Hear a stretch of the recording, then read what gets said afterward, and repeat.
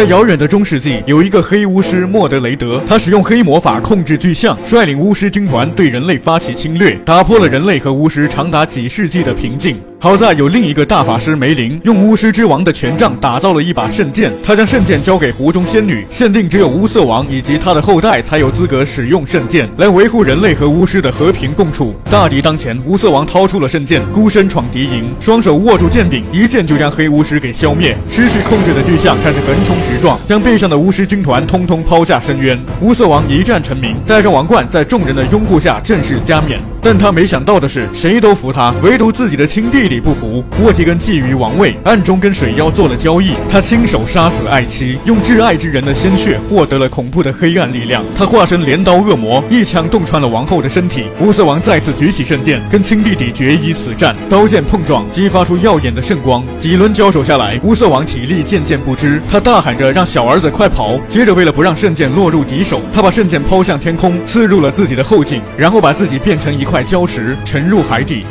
乌瑟王死后，沃提根成功上位，组建了一支庞大的黑甲军队，用暴政统治着人类世界。殊不知，他的傲慢让他忽略了一个巨大的隐患——乌瑟的小儿子亚瑟。他是沃提根命定的宿敌。当年亚瑟逃跑后，乘着船顺流而下，被一群风尘女子救下，非但没死，还凭借顽强的生命力活得很不错。他穿梭在穷街陋巷，学会了各种偷拐抢骗的本领。长大之后，又在格斗场练就一身疙瘩肉，还跟一个中国拳师学起了功夫。但童年时目睹双亲惨死的创伤，让他在心理上屏蔽了那段记忆。亚瑟始终认为自己一出生就是个没人要的穷小子。直到有一天，城堡外的水平面快速下降，一夜之间就只剩下干枯的河床。士兵发现，在其中一块礁石上插着一把利剑，不管怎么拔都拔不出来。而沃提根一眼就认出这是乌瑟王的圣剑，心头立马涌上一股不祥的预感。做贼心虚的他找到水妖，这才知道乌瑟之子还活着。只要亚瑟拔出圣剑，所有人都会知道他才是王位的第一继承。人，这就直接威胁到沃提根的统治。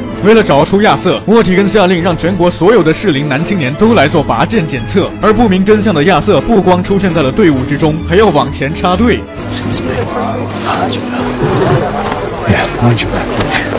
一把圣剑插在礁石中，只有天命之子才能将它拔出来。亚瑟一只手握在剑柄上，瞬间有了触电的痛感，吓得他赶紧松手。这时，一旁的大队长又在催促说：“赶紧拔，拔不下来就赶紧滚。”亚瑟将信将疑，双手食指握住剑柄。神奇的事情发生了，剑身突然发出白光，紧接着大地都跟着颤抖起来。亚瑟逐渐发力，一把将剑从礁石中拔了出来。队长见状，先是惊讶，然后马上下令把他抓起来。但没等他们动手，因为无法驾驭圣剑的力量，亚瑟自己。就当场昏倒在地。等他醒来，已经被关在大牢里。从叔叔沃提根口中，亚瑟第一次知道了自己的身世。还没缓过神来，就被送上了断头台。沃提根要将亚瑟当众处死，来稳固自己的地位。可就在行刑之前，远处有一个女巫师施展法力，操控着一只老鹰扰乱了刑场。同时，人群中有帮手一拥而上，趁乱救走了亚瑟。他们跳下悬崖，最终躲过了追击。亚瑟被带到一座山洞中。原来救他的那群人都是乌瑟王的老部下，他们一直等待着亚瑟出现。来推翻沃提根的残暴统治，但亚瑟还是不愿意接受这个事实，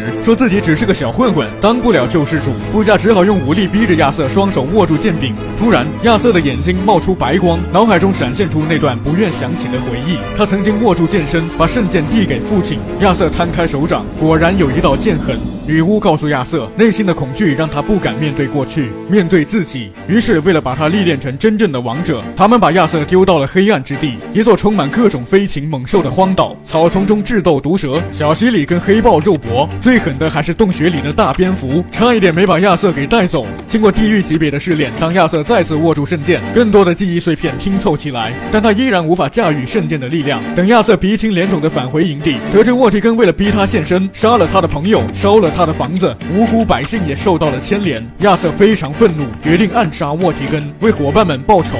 他和那些老部下埋伏在城中，准备在百米开外射杀出宫谈判的沃提根。可一切进行的过于顺利，让亚瑟起了疑心。定睛一看，远处的沃提根竟是个替身。原来沃提根早就通过情报得知了他们的行动，所以提前做好准备，要来一波反围剿。士兵放出信号，大举出动，很快就把亚瑟一群人围在了一座院子里。黑甲士兵撞开门冲进来，亚瑟和同伴们。拼死反抗，但实力过于悬殊，这么下去肯定就是全军覆没。关键时刻，亚瑟双手紧握圣剑，周围瞬间扬起飞沙走石，整个世界都跟着慢了下来。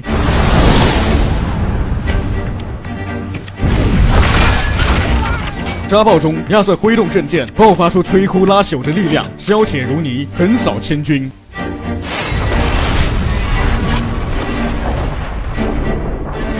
等尘土散去，所有的士兵都倒地不起，身边的小伙伴都惊呆了。原来这才是圣剑真正的威力。亚瑟带着一群残兵突出重围，逃回了营地。深夜，他坐在床边，陷入了沉思，想起了被割喉的养母，战斗中丧命的伙伴，一切的一切都因眼前这把圣剑而起。他站上悬崖，将圣剑扔进湖里，随后在森林中狂奔，发泄内心的痛苦。亚瑟倒在一片沼泽，突然一只手从下面伸出来，将他拉了下去。原来是湖中仙女，她另一只手握着燃烧。的圣剑但亚瑟看到了未来景象。如果亚瑟不接受圣剑，整座城市都会化为废墟，生灵涂炭。他必须拿起王者之剑，跟沃提根决一死战，这是他的宿命。于是亚瑟让黑哥先把圣剑献给沃提根，换回被俘虏的女巫。接着自己假装束手就擒，单枪匹马的跟沃提根见面。女巫发动技能，控制一条毒蛇，试图偷袭沃提根，却被对方一剑斩断。然而这一出只是前戏，接下来才是真正的大招。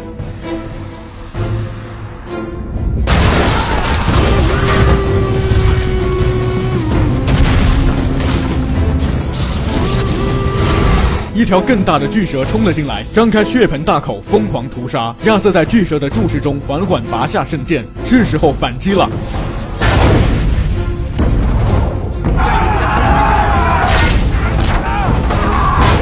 落荒而逃的沃提根又跑去向水妖求助，而条件还是挚爱之人的鲜血。于是沃提根找到自己的女儿，将她抱在怀里，然后。沃提根将生命中最后一丝光亮也献祭给了黑暗，他再次化身镰刀恶魔，和亚瑟在塔顶相见，甩出一个火球，将亚瑟击倒在地。亚瑟手握剑柄，记忆中的最后一块拼图在他脑中显现。亚瑟这才知道，当初杀死自己父母的镰刀恶魔其实就是沃提根。新仇旧恨激发出亚瑟全部的力量。